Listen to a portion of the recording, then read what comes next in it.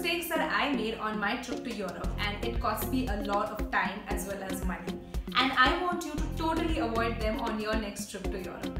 So hope you're taking notes. Let's get started.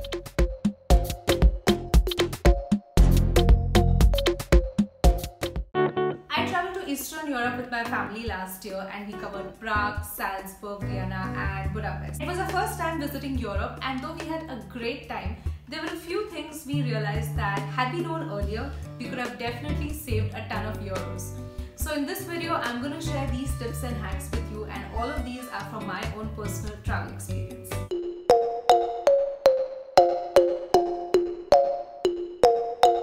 So the first mistake that I'm going to talk about is spending very little time in each place. Now I get that you're going all the way to Europe and obviously you want to see everything. But is that really a good plan? Trying to see a lot of things in a short period of time will mean that you're going to be traveling a lot and that can get really exhausting. When you pack in too much, you're gonna just get tired and not even enjoy what you're doing. And it'll just be about ticking off things from a list. I think Europe is a country which is meant for slow travel. Though there are a lot of touristy and iconic places to see, but there's also so much of natural beauty and the pace of life is really slow and relaxing. So make sure that you have enough time in each place to really take in the place, absorb the culture, take long walks, sit in European cafes. So pick only few things that you really want to do and actually enjoy them.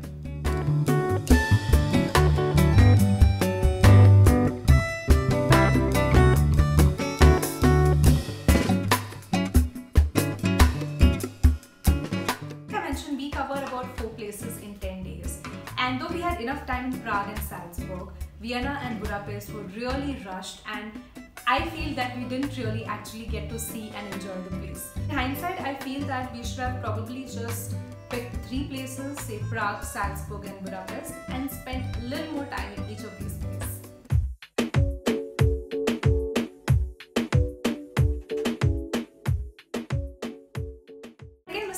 not doing enough research on your travel requirements and just blindly buying a Eurorail pass. Now, a Eurorail pass works great if your travel dates are flexible and you're going to be covering a lot of countries and you're taking a lot of trains. But if your trip is totally planned and you know exactly which date you're going to leave each country and which date you're going to arrive at your next destination, it makes much more sense to buy a point to point regular train ticket. You can buy these train tickets from the uh, national railway websites in each of the countries and for us it worked out much cheaper than buying a Eurorail pass. Also keep in mind that the prices of these train tickets change just like the flight tickets and the earlier you're able to purchase these tickets, the cheaper they're going to be. Another thing I want to add is that I didn't really find much difference between first class and the second class tickets and first class tickets are almost double in price so you probably want to think twice before buying a first class ticket.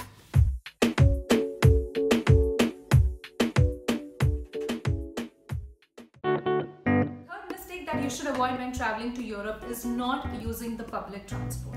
The public transport in Europe has metro, bus and tram and these are amazingly well connected.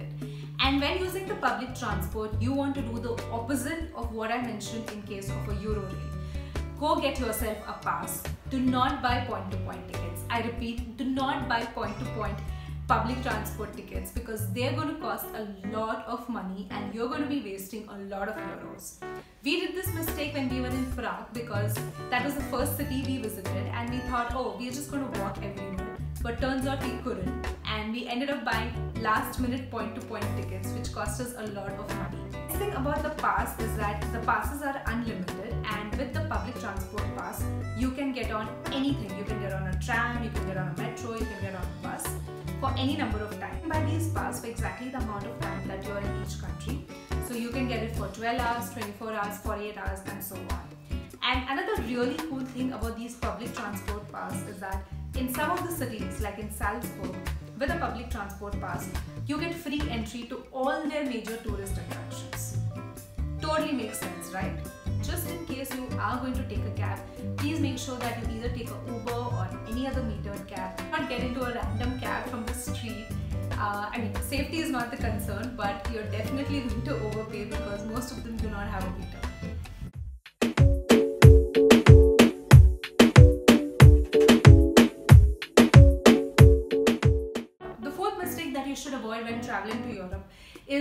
Doing a web check-in.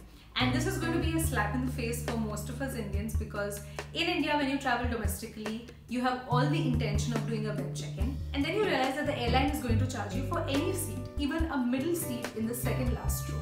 Hello, Indigo. So you basically give up, show up at the airport and beg the lady at the check-in counter to give you a decent seat. Right? Right? Is it just me? But in Europe, it's the exact opposite. If you're flying in any of the European airlines, please make sure that you do a web check-in and select your seat. Because if you're going to show up at the counter just like that, you'll be charged a fee for counter check-in. When we were flying out of Budapest, we were flying out via Ukraine Air. And when we reached the counter, the guy was like, that is 60 euros per head for check-in because you did not do a web check-in. True story.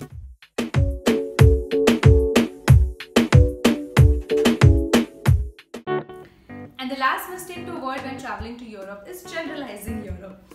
We think of Europe as one continent where everything is similar, but actually each country is quite different. Not just in the obvious ways like the language, the currency, and the food, but also in a lot of other things like the vibe, the people, and the culture. And I realized this the most when I traveled to Budapest because Budapest is just about three hours from Vienna, and yet the two cities couldn't be more different. Vienna is more of a proper formal place, whereas Budapest totally has a hippie culture. If you're traveling from one country to another, be mentally prepared for this change and give yourself some time to adjust to the people and to the customs and their culture there so that you can truly enjoy the place. And one more thing that I would recommend is to not just stick to the cities in each country but also try and visit countrysides. Now, there are a lot of countryside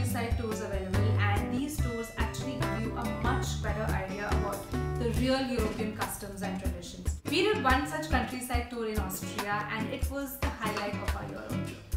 So guys, that's all for today's video. I hope now you know the mistakes to avoid when traveling to Europe. And I also have a video on budget travel to Europe, so if you're interested in checking that out, I'm going to link it above. Thank you so much for watching. I hope all of you travel a lot in 2019. I make new videos every week, so please subscribe for more travel content.